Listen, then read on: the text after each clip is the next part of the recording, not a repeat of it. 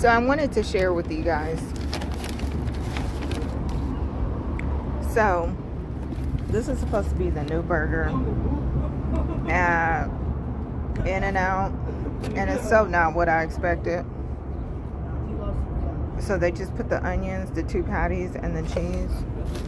And then I also got me and my daughter some fries. So that's the hit right there, I guess.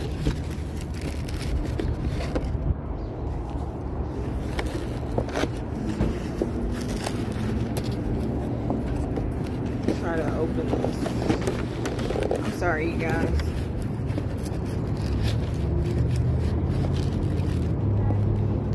Yeah, this isn't gonna work. This is too messy. Too much cheese and all that.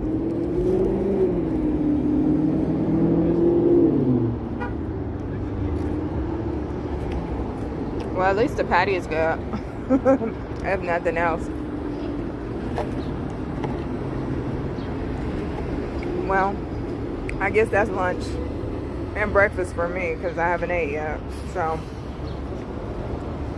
that's the hype at um, In-N-Out, you guys.